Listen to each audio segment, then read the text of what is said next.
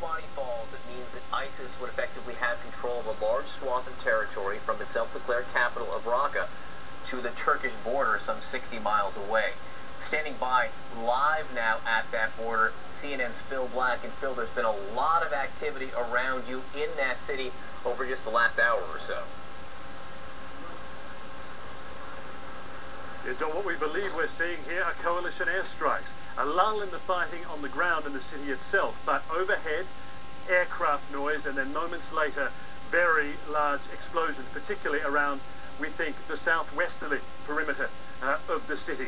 That is what those Kurdish fighters still inside the city resisting ISIS say they want, and they want a lot more of them because the situation in there on the ground is so now very dire. As you say, the ISIS flag flying in the east of the city, and those Kurdish fighters inside tell us that ISIS are advancing. There has been intense street fighting and heavy casualties uh, on both sides. Those Kurdish fighters say that they are still outnumbered and still outgunned, with the ISIS fighters having heavier weapons and far more advanced weaponry as well, and of course the ability to be continuously resupplied from the outside.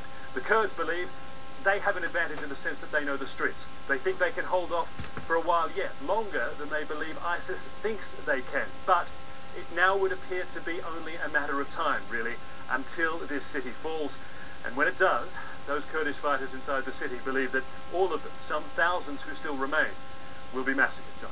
Sounds like a potential humanitarian disaster just a short distance from where you are, Phil, and just a short distance from where Turkish troops have been standing by watching.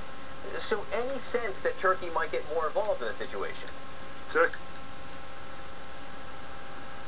no, not yet. All the language from the Turkish government is that there will be no military intervention in this conflict that we can see from this position here.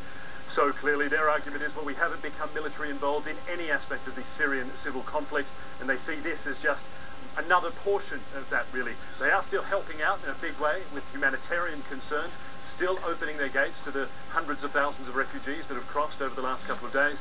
Other than that, Turkish tanks are positioned, but they're just looking. Meanwhile, on the ground here in this region surrounding me, Turkish military and police have been really driving away Kurdish onlookers. These are mostly Turkish residents, ethnic Kurds, also some who fled across from Syria, been gathering in big numbers, concerned, sometimes angry that Turkey isn't getting involved, and they've been using tear gas to clear these crowds away. We've got involved in the middle of that a few times, but that is the extent to which Turkey is using any sort of force, uh, really, based upon the events that are taking place behind us just across the border, John.